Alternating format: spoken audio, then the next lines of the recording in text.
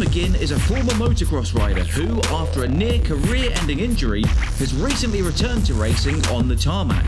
As well as racing, she's a motorsports TV host and presents a number of different shows.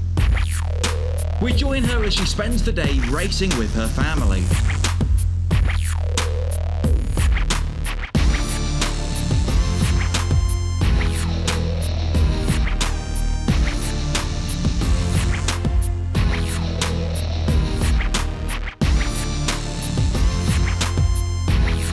I'm Sophie McGinn. I'm 26 years old. Um, I've been riding for a good 10, 12 years now. Um, thanks to my dad. My dad got me involved in, into motorbikes since I was a young, very young age. Um, and finally persuaded them to, to let me have a bike for, for Christmas and uh, started up motocross. And then ended up having a pretty nasty accident um, in 2007 uh, and broke my back in four places. So that put me out for, for quite a long time. So I had to go through rehabilitation and, and physio and, and you know getting myself back to uh, back up to speed with that. And since then I've I've been still involved with it and my dad carried on racing for a few years and he stopped now and I've always it's with with motorbikes and, and, and motocross, it's something I think once you've started, you'll never you'll never stop. It's it's a bug, and it once you've been bitten by it, that's that's it for the rest of your life. I don't think you'll ever stop racing. So we're here doing a charity endurance race for Fight Like a Girl, as you can probably see. Um, there's me, my dad, Beth, and Aidan out on a team. So at the moment, we've just had free practice, and the guys are qualifying. Broke his leg pretty bad motocrossing, and then he hasn't he hasn't rode since. So I've managed to rope him into doing this today. Taken me a while to sort of persuade my uh, my parents to get back behind me racing and, and that sort of thing. So um, I started doing a bit of filming a couple of years ago, just randomly at the dirt bike show.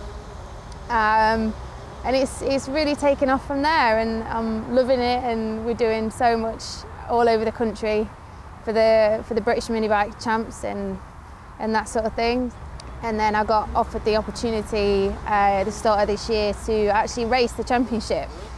So going from a, a history of, of dirt racing pretty much my whole life, I've, I've gone back to um, tarmac.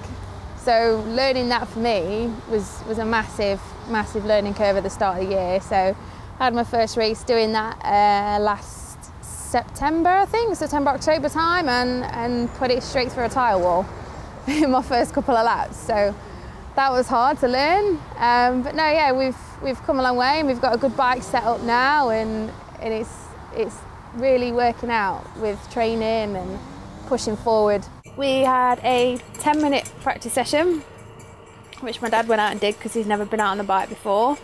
Um, and we made a few changes before qualifying, went and did that for an hour. So me, Beth, Aidan and my dad went and put a time in, but we're all on the same transponder. So we managed to get a 59.6, I think, which is a pretty decent time. But now the weather's started to change and the rain's coming down, but hopefully it'll, it'll dry back up for the race yeah, Dad hasn't rode for about eight years. Um, did motocross for since I can remember, and broke his leg pretty bad doing that. And then since from then, he's just been out for injury really. But since I've had one of these, I've been pestering him and trying to get him to come and do that. So he's like the annoying big brother that I never had. he's not like my dad. He's like my best mate. So which is good. Seems to be doing all right, since he hasn't been on the bike before. When I, when I had my accident, um, the first thing I asked my mum and dad was, is my bike okay? I, I think that's a pretty standard question that anybody that rides does ask.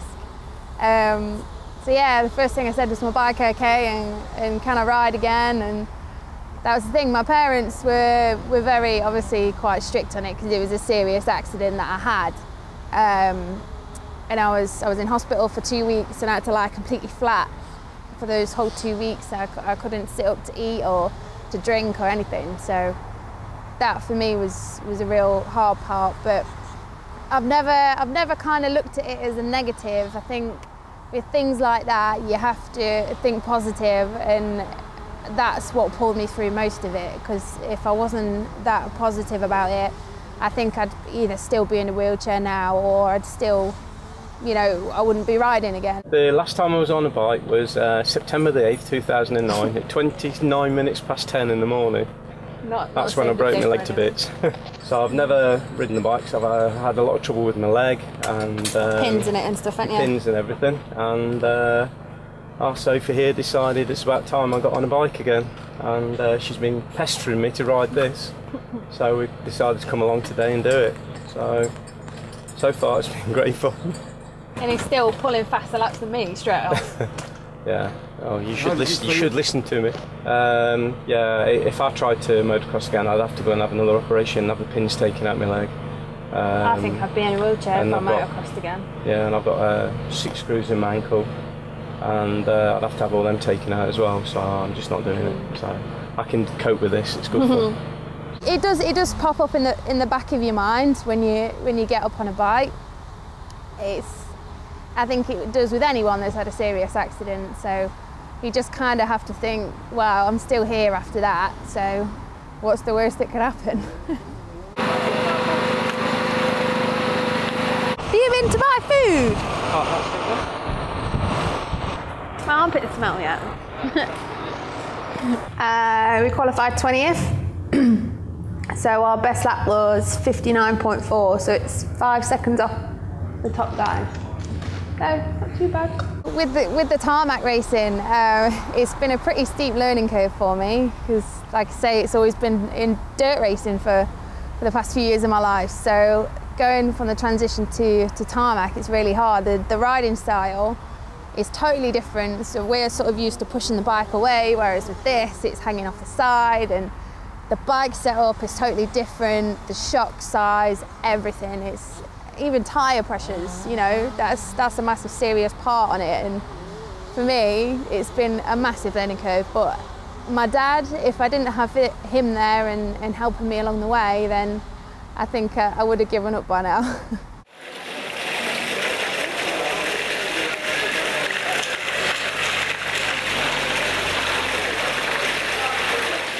So I went out to the start, pulled out on the starting lamp, having trouble starting the bike to start off with. Um, I got half of that round and started bogging down and just completely cut out. We think the carbs sucked a load of the water in with the rain.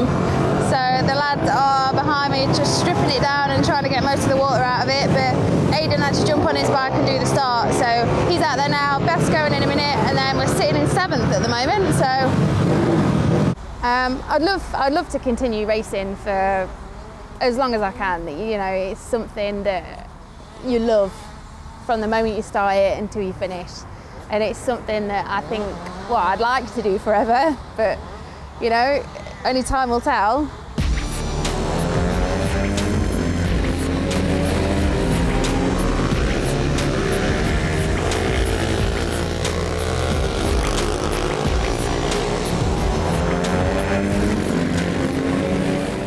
I'd love to sort of be more of an ambassador for girls racing because it's it's great to see more and more girls getting involved in the sport now. I know when I first started, there was me and another girl that I knew of that rode, um, and that was that. And it was it's it's so great to see now. There's some girls out there and they're really they're really getting fast and they're beating the boys. So obviously the world MXGP with the women is really coming on strong now. Managed to sort the bike out finally. He's been fixing that all afternoon. But finally, sun's out and he's managed to get out on track and it's fine. It's loving it. It's doing really well. Ah. So we should we, put, we should be about 14th, 15th, I think. So it's pretty good.